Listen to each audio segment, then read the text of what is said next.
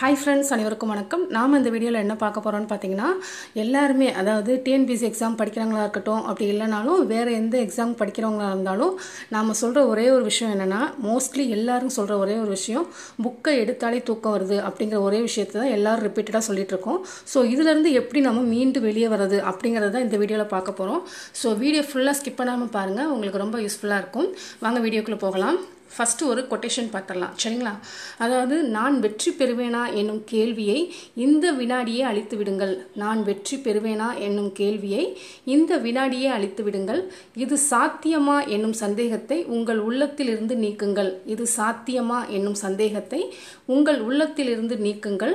நான் வெற்றி பெற முடிவு செய்துவிட்டேன். அதற்கான வழிமுறைகள் மட்டுமே தேவை என்னும் கேள்வியுடன் இந்த நாளை நம்பிக்கையுடன் தொடங்குங்கள் அப்படின்னு சொல்லி விவேகானந்தர் சுவாமி விவேகானந்தர் சொன்ன ஒரு கோட் தான் இது.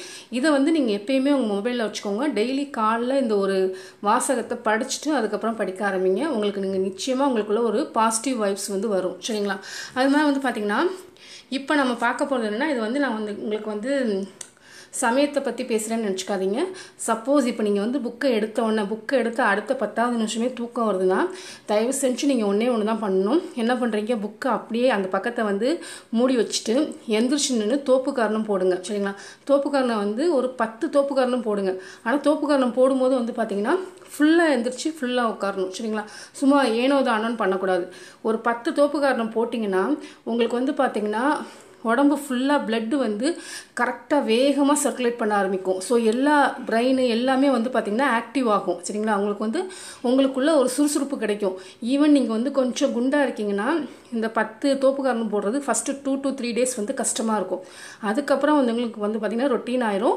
டெய்லியுமே நீங்கள் வந்து படிக்கிறீங்களோ இல்லையோ படிக்க ஸ்டார்ட் பண்ணுறதுக்கு முன்னாடியே ஒரு பத்து தோப்புக்காரணம் போட்டுட்டு உட்காருங்க. ஈவன் எதுக்காக அந்த தோப்புக்காரணம் போட சொல்கிறோம் இதே இது வந்து பார்த்திங்கன்னா ஹிந்துஸ்லாம் என்ன பண்ணுவாங்கன்னா விநாயகர் அதாவது பிள்ளையார் கோயிலுக்கு போனாங்கன்னா தோப்புக்காரனை ஒரே ரெண்டு இல்லைனா மூணு போட்டுட்டு அதுக்கப்புறம் தலையில் கொட்டிப்பாங்க தலையில் கொட்டிக்கிறது எதுக்குன்னா நீங்கள் என்ன சாமிகிட்ட வேணும்னு நினச்சிங்களோ அது மனசு மைண்டுக்குள்ளே வரணும் நினைவுக்கு வரணும் அப்படிங்கிறதுக்காக தான் மண்டையில் கொட்டிக்கிறது ஸோ தயவு செஞ்சு டெய்லியுமே பத்துலேருந்து பதினஞ்சு தோப்புக்கரணம் போடுங்க. அதாவது ரொம்ப கொஞ்சம் குண்டாக இருக்கீங்கன்னா பத்து தோப்புக்கரணம் போதும். சப்போஸ் ஒல்லியாக இருக்கீங்க அவங்களால முடியும்னா இருபது இருபத்தஞ்சு தோப்புக்கரணம் கூட போடுங்க. அது உங்கள் உடம்புக்கும் நல்லது. அது இல்லாமல் நீங்கள் படித்ததை உங்கள் நினைவுக்குள்ளே கொண்டு வரதுக்கும் ரொம்ப ரொம்ப யூஸ்ஃபுல்லாக இருக்கும். சரிங்களா? ஸோ தயவு செஞ்சு டெய்லியும் தோப்புக்கரணம் போடுங்க. அதே மாதிரி என்ன பண்ணுன்னா நீங்கள் சப்போஸ் வந்துட்டு கண்டினியூஸாக படிச்சுட்ருக்கீங்க அதாவது ஒரு ஒரு மணி நேரம் வந்து நீங்கள் வாட்ஸ்அப்பு சோசியல் மீடியா எதுக்குள்ளேயும் போகாமல் ஃபுல்லாக புக்கே பார்த்துட்ருக்கீங்கன்னா உங்களுக்கு வந்து கண் எரிச்சல் வரும். சரிங்களா? கண் எரிச்சல் வரும். அதை வந்து நீங்கள் எப்படி இது பண்ணலான்னு பார்த்தீங்கன்னா உங்கள் நீங்கள் படிச்சுட்டே இருக்கும்போது என்ன பண்ணுங்கள் டக்குன்னு எடுத்துகிட்டு போயிட்டு வாஷ் பேஷனில் போயிட்டு தண்ணி இருக்குல்ல தண்ணி பைப்லேருந்து கையில் பிடிச்சி அதை உங்கள் கண்ணில் வைங்க. சரிங்களா? ஒரு டூ டூ த்ரீ மினிட்ஸ் வந்து கண்ணுக்குள்ளே வைங்க.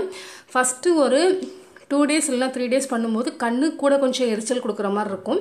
ஆனால் இதே வந்து நீங்கள் டெய்லி ரொட்டீனாக பழக ஆரம்பிச்சிட்டிங்கன்னா உங்களுக்கு வந்து உங்கள் கண்களுக்கு வந்து குளிர்ச்சி கிடைக்கும். சரிங்களா? ஏன்னா புக்கு வந்து நீங்கள் ஃபுல்லாக படிச்சுட்டே இருந்தீங்கன்னா உங்களுக்கு கண் கெட்டு போகிறதுக்கு கூட வாய்ப்பு இருக்குது ஸோ அதனால் என்ன பண்ணுங்கள் உங்கள் கண்ணுக்கு வந்து எப்பயுமே வந்து குளிர்ச்சி தேவை. ஸோ குளிர்ச்சி கொடுக்கணுன்னா என்ன பண்ணுன்னா டெய்லியுமே வந்து டெய்லியும் வந்து இப்போ ஒரு என்ன சொல்கிறது ஒரு நாளைக்கு வந்து ஒரு நாலு தடவை அஞ்சு தடவை என்ன பண்ணுங்கள் கண்ணுக்கு தண்ணியை பிடிச்சி அப்படியே கண்ணை வந்து அதுக்குள்ளே வைங்க. வச்சுட்டு கண்ணை திறங்க. திறந்திங்கன்னா தான் தண்ணி அதில் வந்து படும். ஃபஸ்ட்டு ஒரு ரெண்டு நாளைக்கு வந்து கண் எரியும் ஒன்றே பயந்துடக்கூடாது. அதே மாதிரி தண்ணி வந்து மினரல் வாட்டர் வச்சு பண்ணிடாதீங்க. ஏன்னா மினரல் வாட்டரில் கெமிக்கல் இருக்கும். நார்மல் வைப் வாட்ரு சரிங்களா?